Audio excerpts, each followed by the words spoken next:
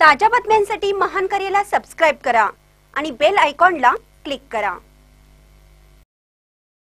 संदीप एंटरप्राइजेसला कामाची work order देऊ नये. ताराराणी आघाडीचे पक्षप्रदोत प्रकाश मोरबाळे यांचे मुख्य अधिकाऱ्यांना पत्र. संदीप एंटरप्राइजेस या एक ते सतरा मंजूर असलेल्या कामाची वर्क ऑर्डर न देण्याबाबतचं पत्र ताराराणी आघाडीचे पक्षप्रदोत प्रकाश मोरबाळे यांनी मुख्याधिकारी यांना दिलं आहे.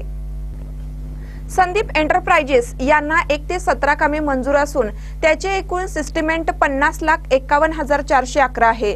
सदर मक्तेदारास मंजूर असलेली शहरात विविध ठिकाणी ओपन जिम साहित्य बसवण्याचं काम यापूर्वीच त्या ठिकाणी झालेलं आहे.